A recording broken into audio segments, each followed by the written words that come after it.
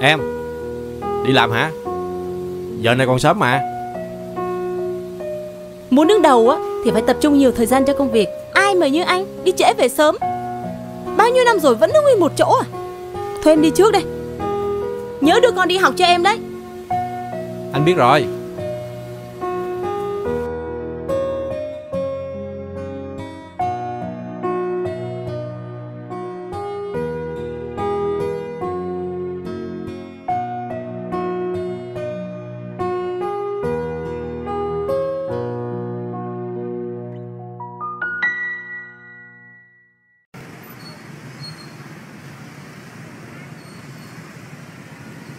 Cho người gọi anh gấp. Có chuyện gì không vậy?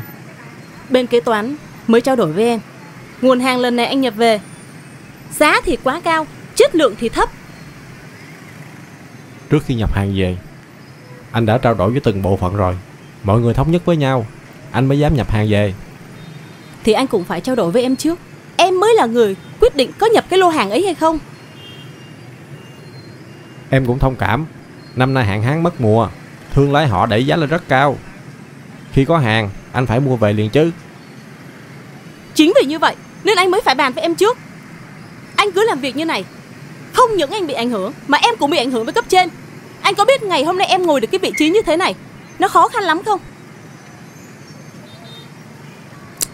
Thôi được rồi, Anh xuống dưới trước đi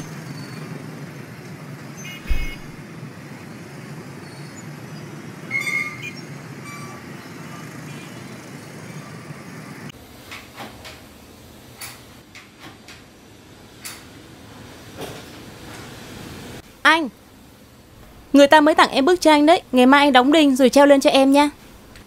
Thôi em tự làm đi. Sao vậy? Mắt công anh làm không đúng ý em.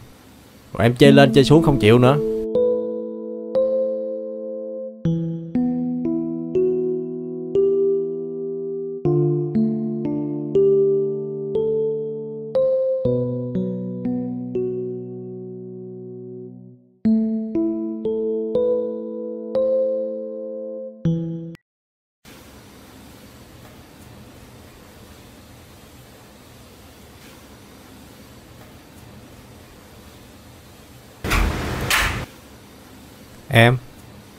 Em trang điểm đi đâu vậy?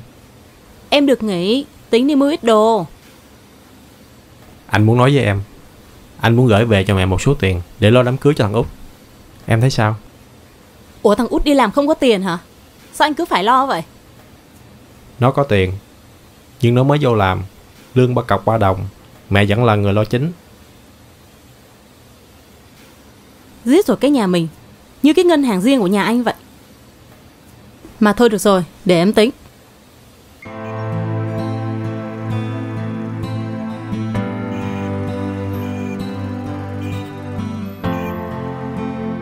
Alo Con hả? Dạ mẹ. Gửi mẹ ít tiền lo cho thằng út. Dạ Mẹ kêu chút gửi số tài khoản cho con Rồi mai con gửi về. Cảm ơn con. Dạ. Thôi mẹ cúp máy đây. Dạ con chào mẹ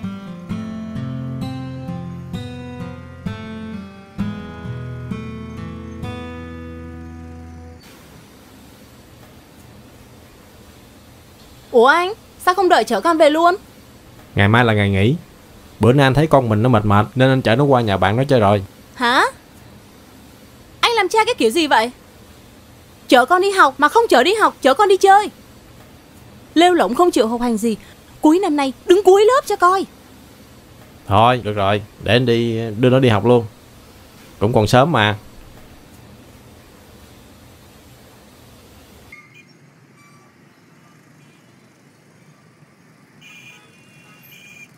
Em Anh tính qua trước em đi ăn trưa đây.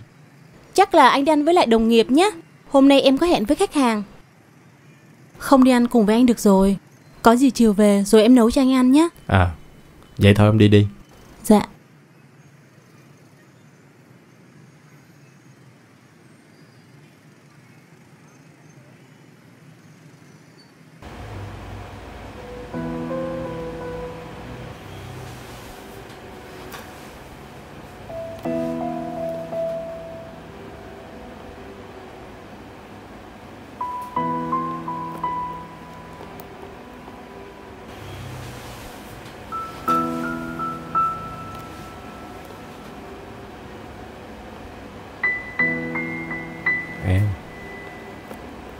Em mệt.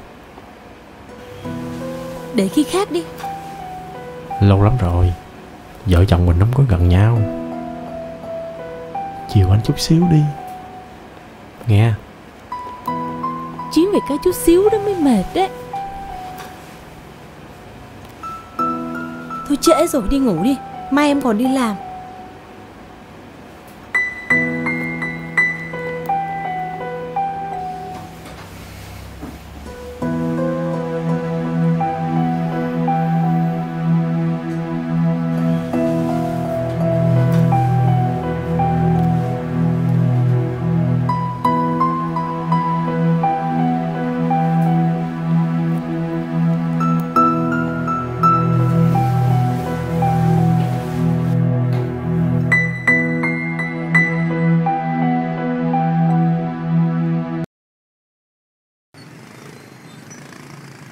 Nay mua bán được không em Dạ cũng được anh, nhưng mà bây giờ giữa trưa nên hơi vắng khách. Trưa mà nhiều người về nhà nghỉ trưa Dạ, à mà anh làm bên công ty đó tốt không? Cũng ổn em Công việc thì lúc nhiều lúc ít Cứ như em thì sung sướng rồi Sướng gì đâu anh ơi. Nhiều khi vắng khách lắm, nắng nôi nữa. Thì cố gắng chứ sao giờ Dạ, Buôn bán mà Thôi em ơi anh tới giờ làm rồi Thôi tính tiền cho anh đi Anh vô làm dạ, của anh 10 ngàn.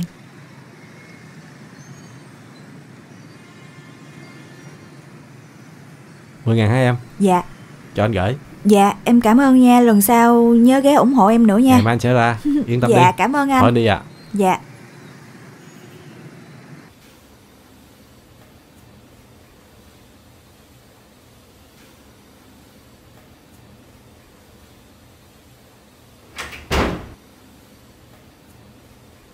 Sao anh về trễ vậy?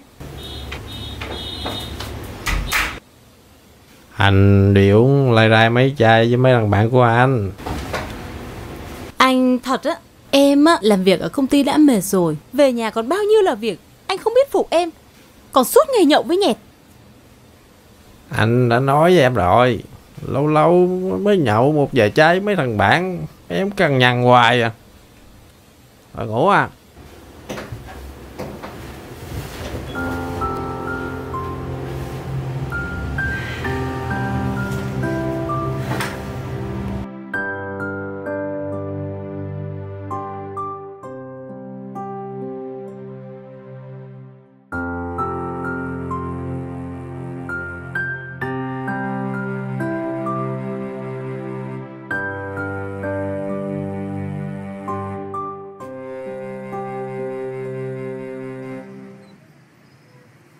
Cảm ơn anh nha. Hôm nay không nhờ có anh đưa em về, chắc tới chiều em chưa về tới nhà nữa. Đâu có chuyện gì đâu Anh ngồi nghỉ xíu nha, em lấy nước cho anh uống.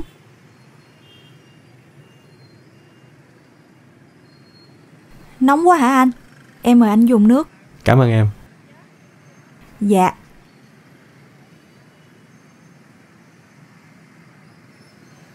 Vậy em ở đây có mình sao dạ em sống ở đây một mình.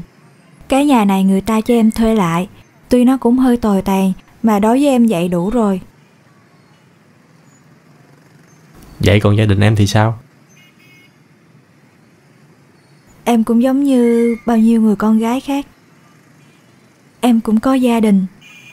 Em đã từng cũng có một hạnh phúc. Nhưng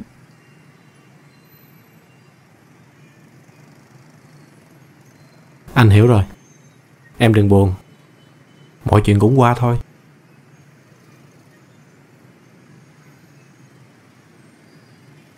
còn gia đình của anh thì sao? Gia đình của anh Cũng ổn em à Thôi cũng trễ rồi Chắc anh phải xin phép về Dạ. Cảm ơn anh nha. Anh về nha.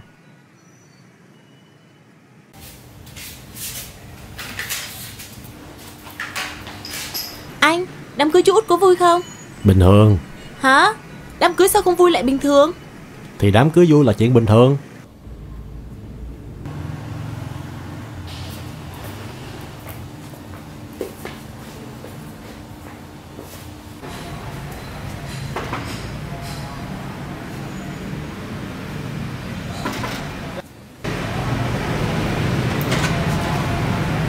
Dạ sếp Em có anh Tuấn ở trong đấy không? Dạ anh Tuấn không có trong đây Ờ, mà em có biết anh Tuấn đi đâu không? Ờ anh Tuấn đi ra quán nướng ngay đầu hẻm đó chị Ờ, Mà chị tìm anh Tuấn có gì không không có gì, có chút chuyện gia đình thôi. Dạo này ảnh ít về đây nghỉ trưa lắm Được rồi, cảm ơn em. Dạ em xin phép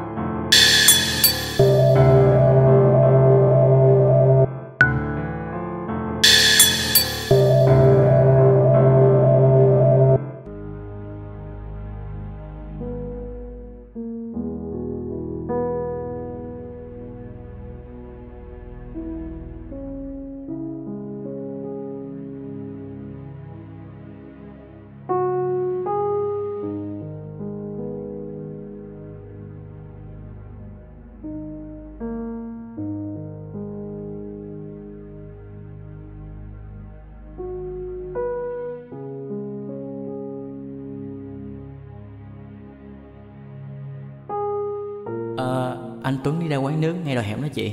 Ờ, Mà chị tìm anh Tuấn có gì không? Không có gì, có chút chuyện gia đình thôi. Dạo này ảnh ít về đây nghỉ trưa lắm. Ừ, được rồi, cảm ơn em. Dạ em xin phép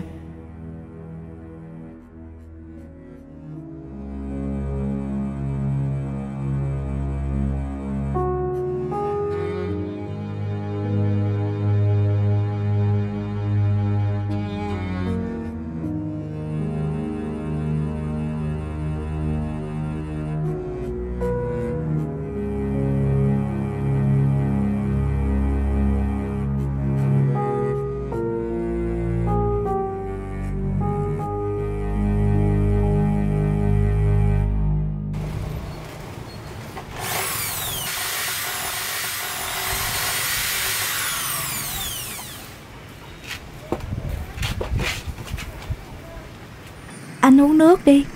Cảm ơn em. Ơ cái bàn đẹp quá vậy anh? Cũng bình thường thôi. Hôm trước á Anh qua không thấy có cái bầu uống nước. Cho nên á Hôm nay anh đóng cho em. Em nhìn coi coi Nó có chắc chắn không? Em thấy ok lắm luôn á Em thích quá à. Em cảm ơn anh nha. Cũng đâu có gì đâu. Nhưng mà Anh thấy hình như nó cũng chưa chắc chắn em ơi. Chắc anh phải bắt thêm vài con vít nữa quá Đối với em vậy á là được rồi. Mà nếu anh thấy không ok á Thì em nghĩ anh sẽ làm tốt hơn. Em yên tâm Anh bắt thêm vài con vít nữa. Thì nó sẽ cứng ngắc à. Dạ.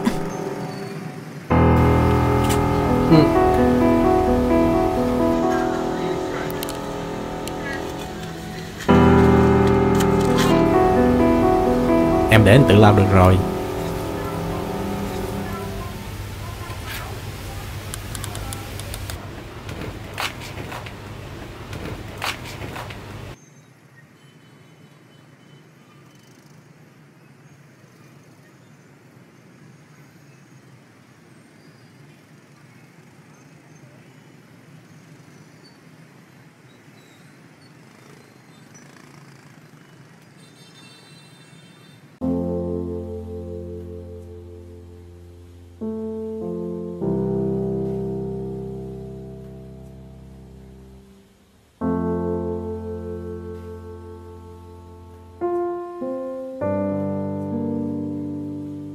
Em sao vậy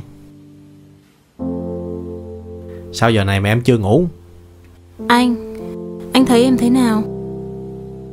Em có phải là người tốt không? Em xấu lắm phải không? Đã khi nào anh chán em chưa? Có bao giờ mà anh chán em Sao tự nhiên em hỏi như vậy Em là người phụ nữ giỏi giang Chu đáo Mọi người ai cũng biết chuyện đó mà. Thật vậy à? Thật Anh thương em mà.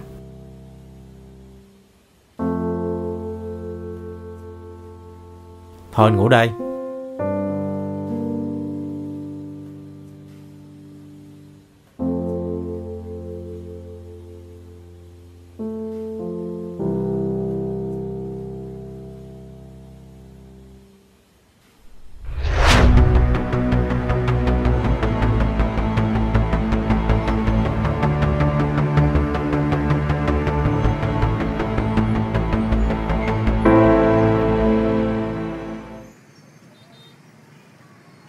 Chào em. Dạ. Chị uống gì chị? Ừm, Cho chị chai nước suối. Dạ. Dạ mời chị. Ừm, Quán hôm nay có vẻ vắng khách hả em? Dạ Tại vì à, đến giờ vào làm rồi á Cho nên mấy anh vào làm hết rồi chị. Ủa mà mấy anh nào? À Có công ty kế bên á Mấy anh hay qua uống nước ủng hộ em Ờ. Vậy cũng đỡ hả em? Dạ. Em có gia đình chưa? Em đã có gia đình rồi chị. Mà ly hôn rồi. Em có được bé 2 tuổi. Mà giờ phải gửi về ngoại Để có thời gian đi làm. Ừm, Vậy thì cũng buồn ha. Mà Em có dự tính gì trong tương lai không? Dự tính thì em chưa suy nghĩ Nhưng mà có mấy anh bên công ty á Có anh Tuấn á Anh ấy rất hiền lành. Với lại cũng hay giúp đỡ em nữa. Dám mà Giá mà sao em? Dạ Không có gì đâu chị. Chị dùng nước đi. À.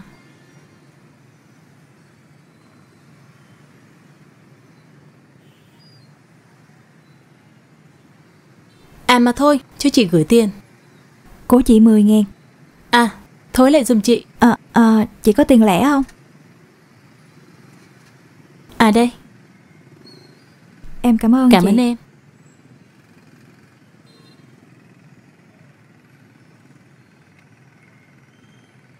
Đừng vội đánh Con ạ, vợ chồng phải tôn trọng nhau, động viên nhau sống tốt hơn.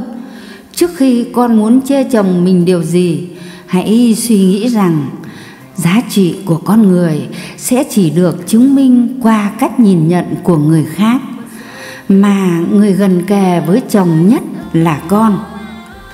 Hãy tôn trọng chồng con, hãy suy nghĩ thấu đáo trước khi con quyết định nói chuyện với chồng con về vấn đề của người phụ nữ kia.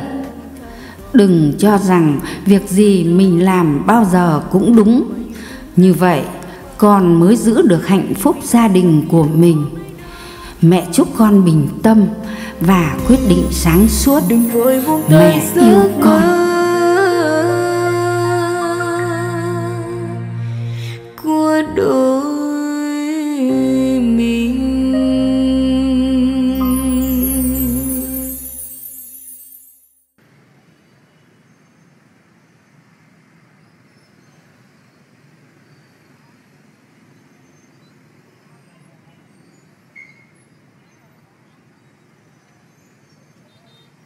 Em đợi anh có lâu không? Anh, Cái quán này bây giờ nhìn khác quá em ha.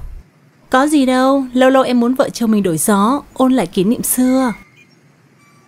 Ôn lại kỷ niệm xưa? Không được à? Ờ được. Mà Mà bên anh công việc như thế nào rồi? Có ổn không? Cũng ổn em. Vậy thì cuối tuần này Vợ chồng mình đi du lịch nha. Cái gì? Du lịch. Mà có ổn không? Có sắp xếp được không Ờ Cũng được. Vậy cứ thân vợ chồng mình đi nhá.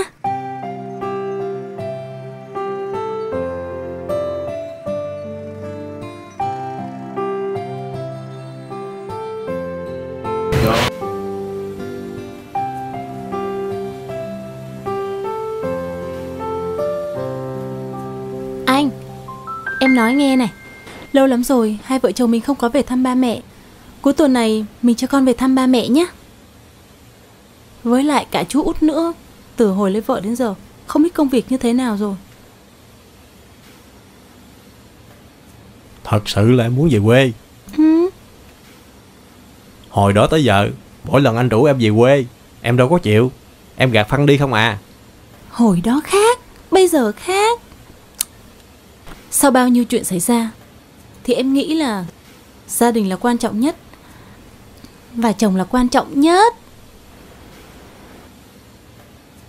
Ừm,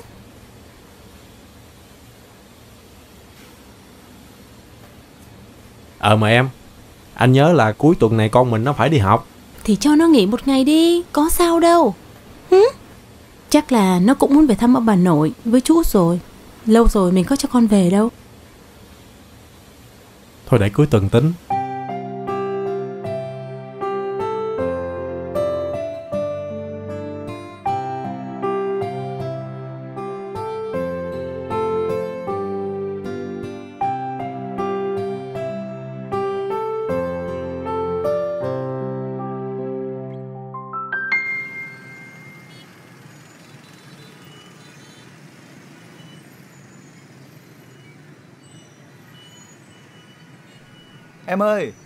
Dạ.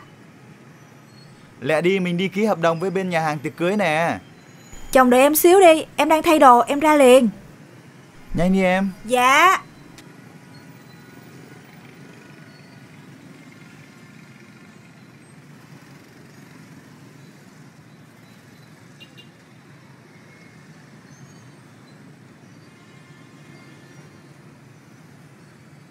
Kìa em. Sao đi làm về, không thay đồ, lại đứng đây? Không có gì, ơ mà sao bây giờ anh mới về? À, thằng hậu bạn anh. Mãi bây giờ mới vừa là đám cưới. Nó điện anh ra để đưa cho anh cái thiệp đám cưới. Ủa, mà lấy ai? À, cưới con Kiều, bán nước ở gần công ty mình đó. Kiều, ờ... cũng vui ha. Vui.